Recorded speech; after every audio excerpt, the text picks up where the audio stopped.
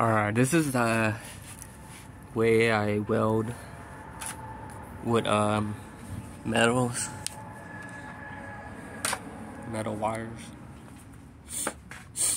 especially the wires that are magnetic, because I can't like do with copper wires with this.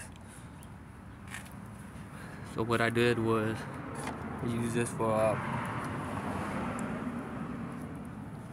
this to ground because I was having a problem with uh with my chain because this chain right here keeps on closing in. Like this thingy right here. Because I already weld every weld everything on here and make sure that this thing right here doesn't close in. And I use this right here. And I just go like weld it up. When I do that, um, since I don't have my actual welding mask,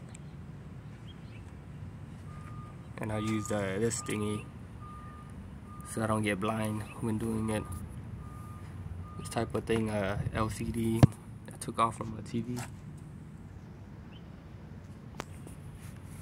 And here's the results I just did right now.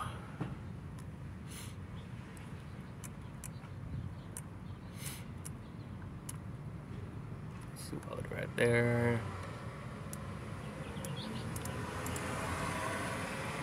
Weld right there. I use a when I weld I weld it with a 48 volt with a least over this battery is a 500 amp.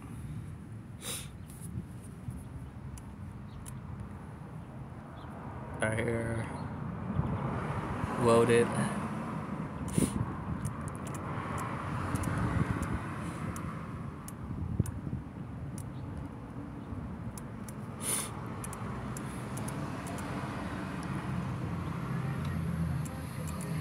I know it looks ugly, but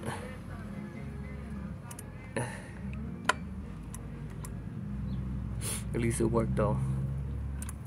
You know. Right here, gap. This part was closing in really bad right here. So I to weld a chain because I don't want to buy a new chain and take out the whole thing out. So, yeah. I'm uh ended the video.